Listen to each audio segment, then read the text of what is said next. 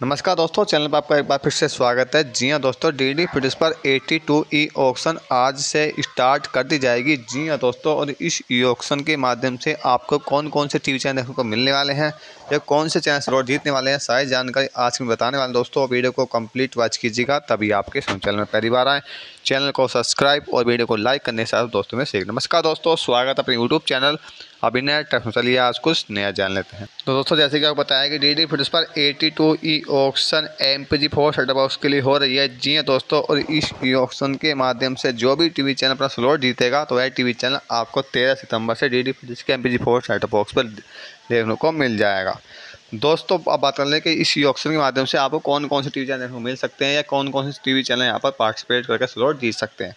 दोस्तों, जय प्रसार भारती के M P four setup box पर डी डी फिडिस के पास जिस टीवी चैनल ने कल के दिन फार्म को सबमिट कर देगा तो वो टीवी चैनल आज बोली लगा करके अपना स्लॉट जीत जाएगा तो वही टीवी चैनल आपको डी डी फिडिस के M P four setup box पर देखने को मिलेगा, वही टीवी चैनल स्लॉट जीतेगा।